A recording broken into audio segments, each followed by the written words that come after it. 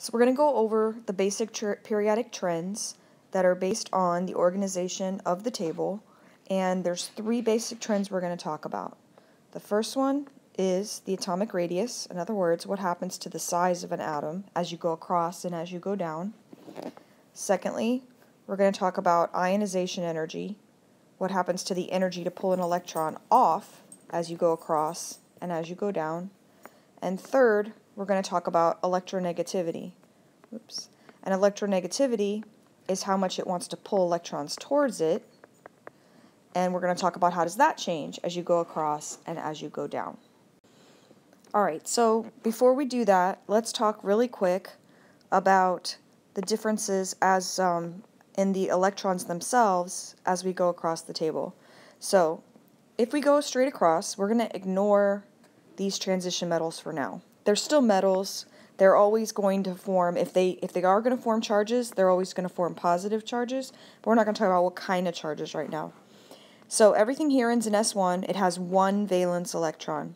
Everything in this column has two valence electrons.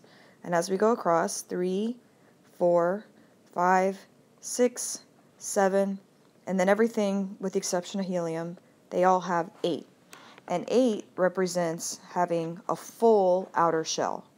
So this is how the table is organized, and this is going to determine the behavior of the atoms as well. Not only that, but when atoms react, they're going to react in order to get what we would say is a full outer shell. Now they're either going to do one of three things. They're either going to gain electrons, they're going to lose electrons, or they're going to share electrons. All right, and we're not going to really talk about sharing. We're going to talk about gaining or losing. Now, if an atom wants to have 8, and right now it has 1, its choices would either be to gain 7, and then it would have 8, or if it loses that 1, then the shell beneath it is already filled. So by getting rid of that extra 1, it would now basically have a full shell beneath. So the easier thing on these are going to be to lose 1 plus 1. Second column, they have 2. Are we going to gain 6 or lose 2? They're going to lose 2. So everything in the second column tends to form a plus 2. Now we go over here to the third column. Again, we can either gain 5 to get to 8, or if we lose the 3, the shell beneath is already full, so these are going to form a plus 3. And just a reminder, this doesn't mean add 3. This means it has a plus 3 charge because it's missing 3 electrons. These we're going to say share because it's not very easy to gain 4 or lose 4.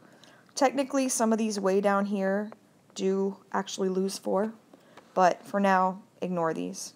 Now, these have 5. You could either gain 3 to get 8 or lose 5 to get rid of to get rid of that outer shell. It's going to be easier to get a negative 3 charge, gain 3, than to lose 5. The next one, 6, they're going to tend to gain 2 to get 8, and these have 7, they're going to gain tend to gain 1 to get 8. So, in essence, what am I saying here? So, here's what I'm basically saying to you. If we were to draw a really quick makeshift table here, one, two, three, four, five, six. Here's what you're going to want to do anytime that you're given a table. You're going to go one, two, three, four, five, six, seven, eight. That's the number of electrons they have in their outer shell. And then you're going to go plus 1, plus 2, plus 3, x, minus 3, minus 2, minus 1, x. What does that mean? That means these have 1 in their outer shell, and they tend to lose 1. These have 2 in their outer shell, they tend to lose 2 and form a plus 2. 3 in the outer shell, lose 3. 4 in the outer shell, tend to share. 5 in the outer shell, they tend to gain 3. 6, gain 2. 7, they gain 1. 8, they tend to be unreactive. And that sort of is an overview um, that will help you in understanding the trends in the periodic table. So the first trend we're going to talk about is the atomic radius, which is basically the radius of an atom, which is, just like in math, this would be your radius from the nucleus to the outermost electron. And the trend is that as you go down a group, remember the groups are vertical, then the atomic radius gets bigger. And as you go across the same row, the radius gets smaller. Now, why does that happen? Well, as you're going down, we're adding a whole nother energy level. For example, this is n equals 1. The next level we're at n equals 2. So if we look at them, this would be the atom. The one right below it would be bigger because it would have two energy levels. And the one below that would be even bigger because it would now have three energy levels, etc. As you go across, it's a, it's a little more difficult to picture, but you're basically adding electrons to the same energy level. So now there's two, and then now there's three. And what happens is because the nucleus is getting more protons and you're adding more electrons, but you're adding them to the same level, the nucleus and the electrons basically get a tighter pull on each other. The nucleus basically hugs them even closer. So as we go across, the atomic radius gets smaller. So if you look at this, this really gives you a good idea. These are all in the same column, and we're talking about atomic size. So what happens is hydrogen ends with 1s1. Lithium ends with 2s1. Sodium ends with 3s1. It's pretty easy to see that as you go down, they all have one electron in their outer shell, but you've added an entire extra level, so they're going to get bigger. Very straightforward trend. Okay, so why does the size get smaller as we go across?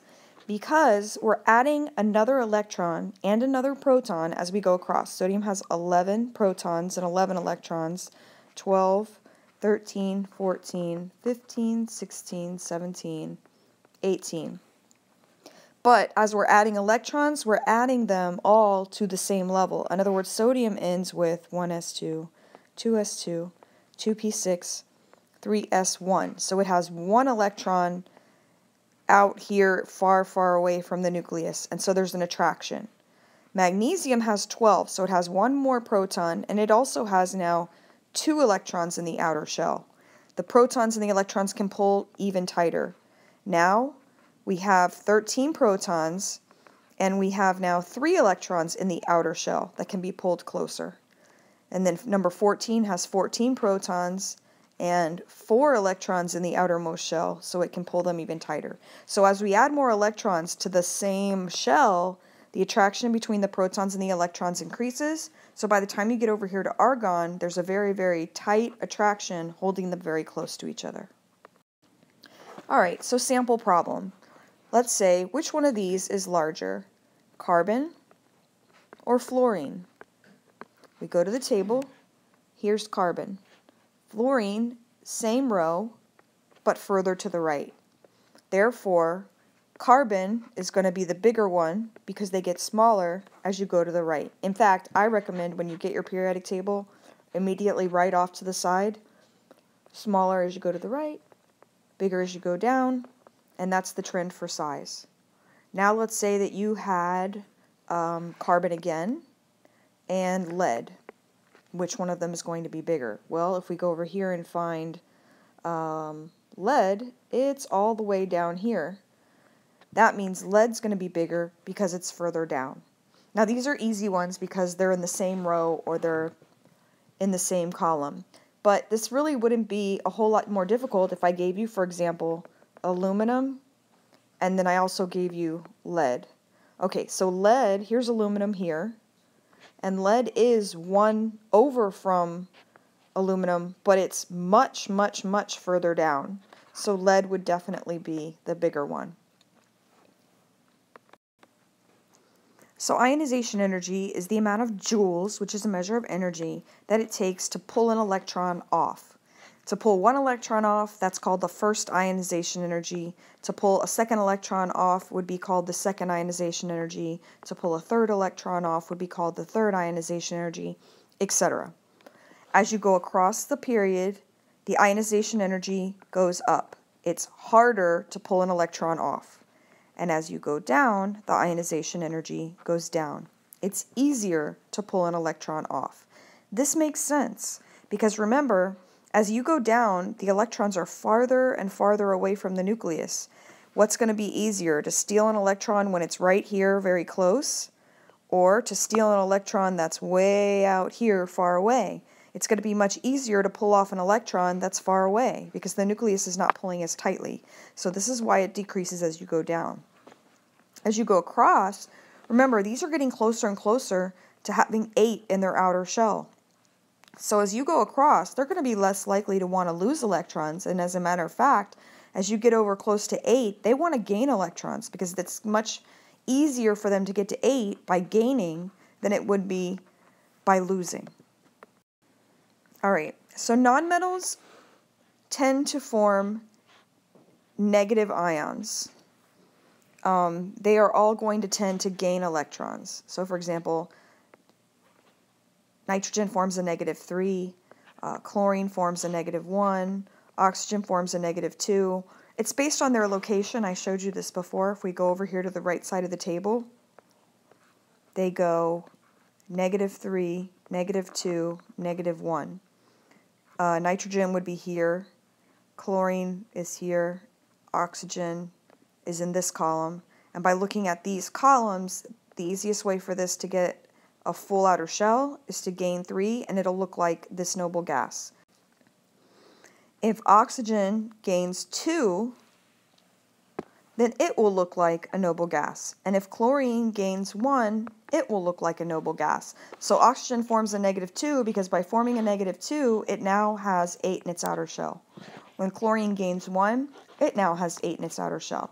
When nitrogen gains 3, it now has 8 in its outer shell. And the easiest way to get to 8 is to gain. All right, so these are all in the same column. Lithium, sodium, potassium, rubidium, cesium. They're all in S1. So they all tend to lose one electron. Lithium, what its regular size would look like, would be more like this. When it loses an electron, it gets smaller. Sodium was also bigger. When it loses an electron, it gets smaller. Cesium was really big and when it, it loses an electron, it gets smaller. They always get smaller when they lose an electron. Now, notice they still get bigger as you go down. Why? Because sodium was already bigger than lithium, and potassium was already bigger than sodium. So if they all have the exact same charge as each other, just ignore the charge and go by the original rule. Because lithium is the smallest and cesium is the biggest in the column, if they all form an ion with the same exact charge, it's going to be they're still going to be the smallest to the biggest. Now, if you were asked, what about cesium plus uh, plus one versus cesium, which one would be smaller? The plus one, because they always get smaller when they lose. And this is actually an even better example of this. If we look at what happens as we go across. So these are all in the same row. When lithium loses an electron, it gets smaller. And beryllium, which is which ends with S2, it tends to lose two electrons and it gets even smaller. And this one loses three. And this one, typically it shares, but they're showing it as losing four. Anytime you lose electrons, you get smaller. And the more electrons lost, the smaller it is. So if you were given any three things, aluminum plus three, iron plus two, um, and let's say um, sodium plus 1, and you were asked which one's the smallest, whichever one's the most positive is the smallest. The more electrons it loses, the smaller it's going to be. And notice the opposite is true also. These are actually, they go in this direction on the periodic table. But whichever one has gained the most electrons ends up being the biggest. Because now it has more electrons than it can control, and the nucleus can't pull them as tightly. So gaining three electrons is going to make something much, much bigger than when it just gains two or when it just gains one. All right, so sample problems. Remember ionization energy. The rule was it goes up as you go across, it gets lower as you go down. So let's say I give you sodium or barium, and I would ask you which one has a higher ionization energy. Well, sodium is here. Barium, it is 1 over, but it's way down here. So what's our rule as we go down? The ionization energy is lower. So barium would have a lower ionization energy and sodium would have a higher ionization energy, meaning it would be easier for barium to lose an electron than it would be for sodium to lose an electron. And we saw this in the lab. If you recall, in the lab, we had magnesium and we had calcium, and we put them in water. Magnesium didn't react in water, but calcium did.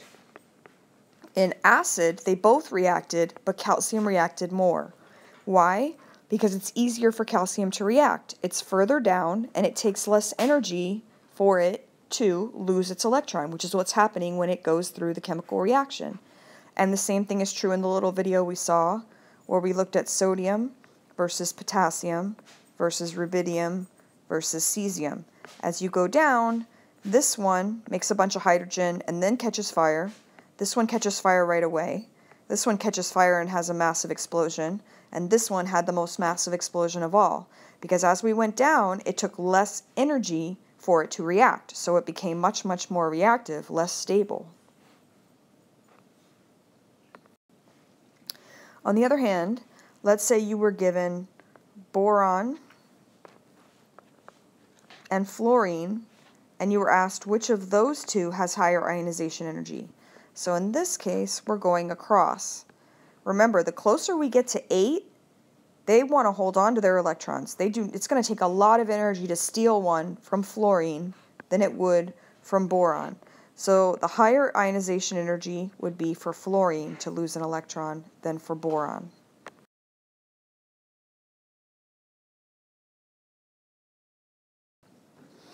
All right, and we can actually call these if we if we have um, ions with the same exact number of electrons, we call them isoelectric or isoelectronic.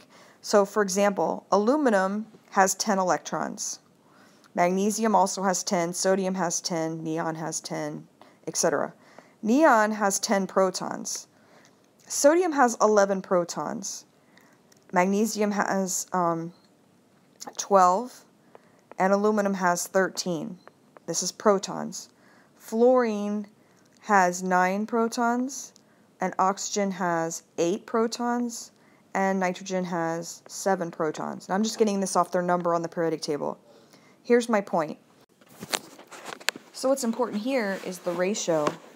And notice, for example, for neon, it actually has the exact same number of protons versus electrons, 10 and 10. So if you imagine that one as being, let's just say, this size, sodium has more protons than electrons. It is going to actually be smaller because it can control its electrons better. And then magnesium is going to control its electrons even better because it has even less electrons to control. Aluminum has even less electrons to control. So the plus 3 would always be the smallest. As we go the other direction, now fluorine only has 9 protons. It's not going to be able to control all 10 of those electrons as well, so it's going to be bigger. Oxygen has 2 extra electrons, and nitrogen has 3 extra electrons. So as we go across, the negative 3 one is always going to end up being the largest because it's got three extra electrons it's trying to control. And this diagram just shows you the same thing. Notice size-wise, the more negative it is, the larger it's going to be. The more positive it is, the smaller it's going to be, with the neutral one being right in the middle. And these happen to be isoelectronic. They all have the exact same number of, of electrons, the truth of the matter is, though, if you go to the periodic table and you have, let's say, a neutral atom up here, and then something with a negative 3 charge that's way down here, the negative one's going to always be bigger. Or let's say it's way down here and it has a plus 3 charge. Even though it's way further down, it's going to end up being smaller because losing electrons makes such a huge difference in size. The final trend is electronegativity. This is how much an atom pulls electrons towards it. It has the same trend as ionization energy. Lower as you go down, bigger as you go across. For this one, the noble gases don't count because they're not pulling electrons towards them at all. They're very happy with how many they have. The highest on the entire table is going to be fluorine, this one right here in the upper corner. And so it gets bigger as you go across. Fluorine pulls the hardest. It's got 7, it really just wants one more. It's going to tend to pull one towards it. As you go to way down here, these didn't have much of an attraction for electrons at all. they actually were much more active and ready to give them away. So these down here, like cesium and francium, are going to have the lowest electronegativity. So if you were doing practice problems with this, you would look at the periodic table. The closer it is to this bottom corner, those are going to be the lowest electronegativity. And the closer it is to this top corner, those are going to tend to be the highest electronegativity. And remember, the noble gases won't count.